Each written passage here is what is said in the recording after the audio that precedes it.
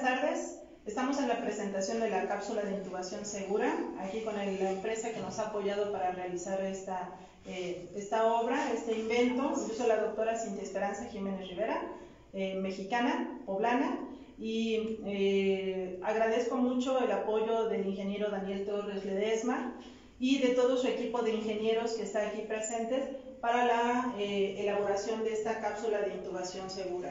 Se realizó este invento eh, motivado por el hecho de tratar de mantener la seguridad del personal de salud, de todo el personal de salud y eh, principalmente ahorita que estamos en la pandemia del COVID-19. Así que vamos a iniciar la demostración de lo que es esta cápsula de intubación segura.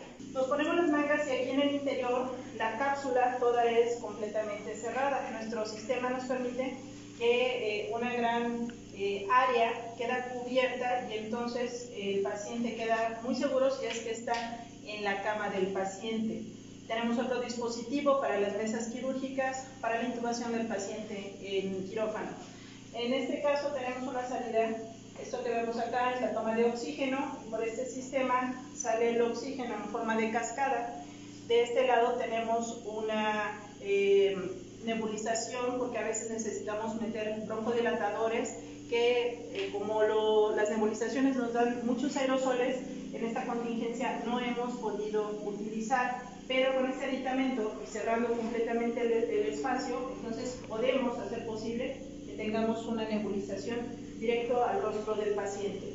En este caso voy a, describir, por ejemplo, tenemos una salida de... Eh, con filtros exhalatorios para permitir la salida del CO2 y los filtros exhalatorios son bacteriales y, virales, por lo cual hay una protección hacia el exterior. Como ven, está herméticamente cerrada y no hay ninguna fuga.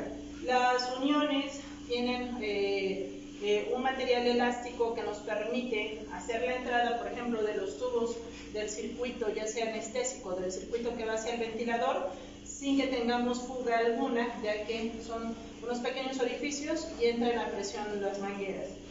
Eh, tenemos aquí el sistema cerrado para ventilar a un paciente y, bueno, obviamente tenemos que utilizar unos guantes estériles para eh, la protección del paciente.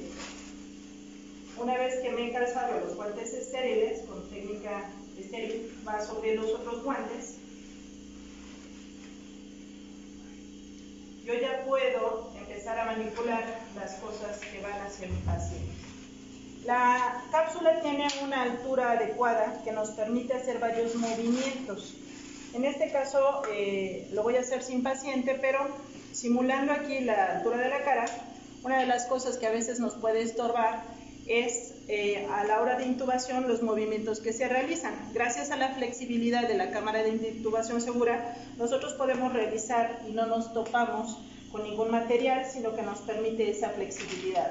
Al igual, la entrada del tubo endotraqueal, que puede ser orotraqueal, a la hora de meterlo, eh, la cápsula nos permite el deslizamiento fácil del tubo endotraqueal y posteriormente su conexión hacia nuestro circuito de ventilación. Esto quedaría en el interior del paciente y esto queda herméticamente cerrado, con lo cual nos garantiza a nosotros una seguridad. Eh, en las partes exhalatorias yo tengo eh, filtros virales y bacterianos que me evitan que el medio ambiente se contamine, pero sí le permiten la salida al, al CO2. Y por este lado tenemos la entrada del, del oxígeno y por este lado puedo estar metiendo también eh, broncodilatadores o algún otro medicamento que quisiera, protegiéndonos a todos los que estamos a nuestro alrededor de no ser contaminados por los aerosoles que despide este tipo de, eh, de ayuda que nosotros utilizamos o de métodos que utilizamos para el tratamiento del paciente eh, que tiene problemas respiratorios. Esta es nuestra cápsula, queda por el exterior cerrada gracias a que ponemos un contrapeso a nivel de las orillas y entonces el material nos permite adosarlo a las partes de abajo de la camilla, de la cama y con el contrapeso nos permite hacer un cierre, por lo cual eh, se garantiza que no vamos a tener ninguna fuga desde ese sentido.